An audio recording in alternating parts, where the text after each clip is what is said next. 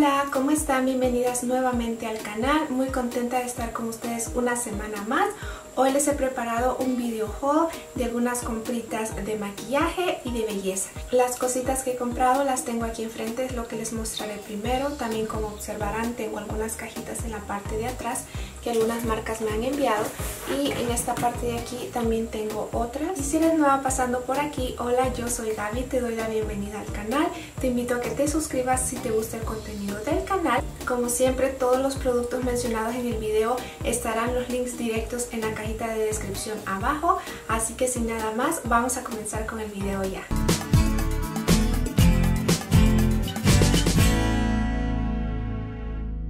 Bueno, voy a comenzar con las compras que yo he hecho y las he hecho esta vez en Ulta. Generalmente compro en Sephora, pero esta vez pues decidí irme a Ulta porque pues quería algunas cositas que son exclusivas de Ulta y lo primero que les quiero mostrar es una paleta de maquillaje y es esta de aquí, es la Laura Pro Palette 4. Ustedes saben que tengo la Pro Palette 3, que les he hecho un review en cuanto a ese algún par de años atrás, se los voy a dejar aquí si lo quieren ir a ver.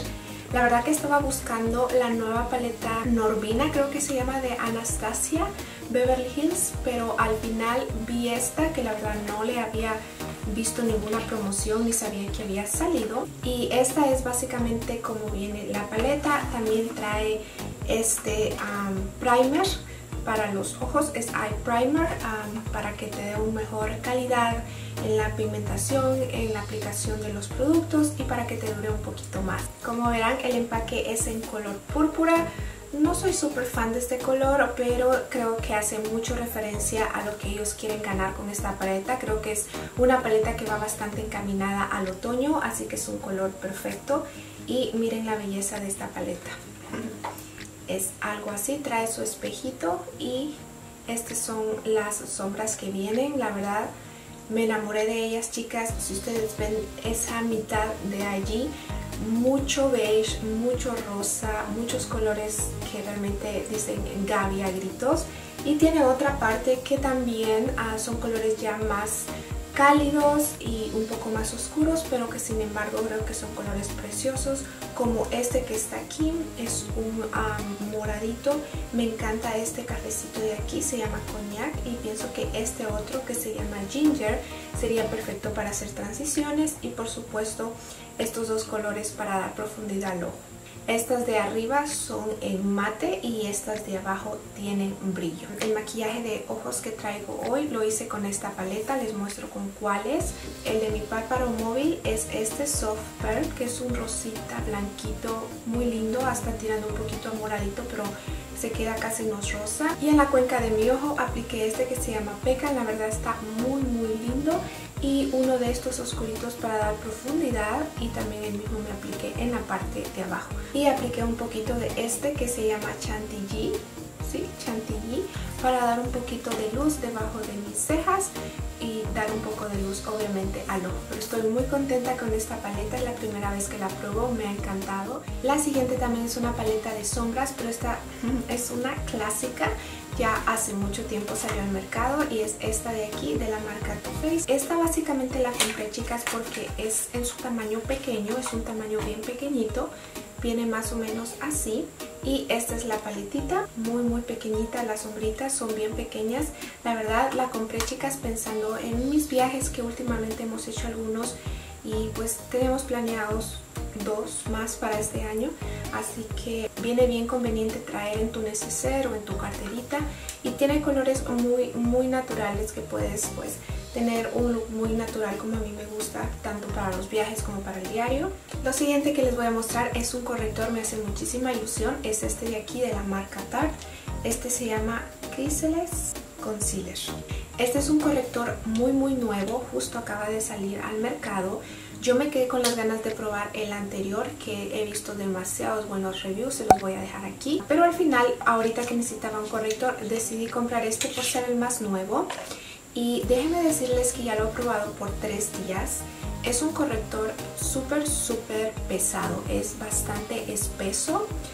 Más o menos diría yo como el de NARS, pero creo que un poquito menos que el de NARS. Personalmente que sean pesados no me gusta mucho por el hecho de que yo tengo algunas líneas de expresión ya que yo sé que algunas me han dicho que no se me ve nada pero es que la cámara hace milagros pero sí los tengo chicas así que cuando un corrector es pesado me marca más pues las líneas de expresión pero pero me los marca más el de NARS que este y algo que me encanta de este es que básicamente es un corrector de cobertura full, de cobertura completa, o sea tú te lo pones y desaparece todo, es de verdad muy muy buena cobertura. Estoy encantada. Creo que lo pedí un tantín blanco porque esto lo pedí yo online pero bueno que por ser corrector me gusta un poquito más blanca esta parte de aquí y la verdad chicas me ayuda para tapar bastante las imperfecciones de espinillas o acné que tenga o de enrojecimiento. Es el que traigo hoy puesto en muy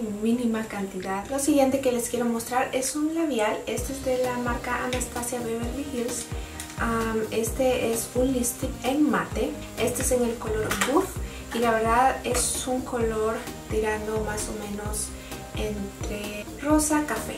Más o menos es esa combinación, creo que va perfecto para el otoño, vendrá genial.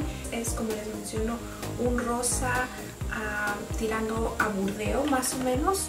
Y lo último que quiero mostrarles de lo que yo compré es este que no se los voy a mencionar mucho porque si ustedes me siguen de ya hace un par de tiempo, un par de dos años más o menos, ya les he mostrado este producto. Es un tratamiento para el cabello eh, de la marca Joico y este exactamente es un tratamiento restaurador biológicamente avanzado para revitalizar, nutrir y reparar el cabello. Lo había dejado de usar más o menos unos seis meses porque estaba probando otros Volví a él, chicas, mi pelo estaba bastante seco y este creo que me lo mantiene mucho mejor, así que ojalá que lo pueda volver a recuperar usándolo. Es buenísimo. Lo utilizo como después del acondicionador o cuando no tengo tiempo de acondicionar el cabello, solo después del champú y ya lo, lo, limpio con agua otra vez. Y ahora voy a pasar a mostrarles lo de la caja que me llegó justamente hoy, que es esta caja que está aquí. Está un poquito grande pero esta viene de la marca de Avon, de Avon y este es más o menos el empaque que viene. Y esta colección se llama Glow is the New Gloss. Y sí chicas son glosses, es una nueva línea de glosses que ellos han sacado y estos son los que vienen aquí, la verdad están preciosos. Déjenme quitar esto. Ahí está estos son los glosses que vienen. Prometen una alta intensidad de brillo, también de hidratación y dice que no son para nada pegajosos. Y eso sí que de verdad me llama muchísimo la atención, chicas. ¿Qué tal si hacemos swatch algunos de ellos?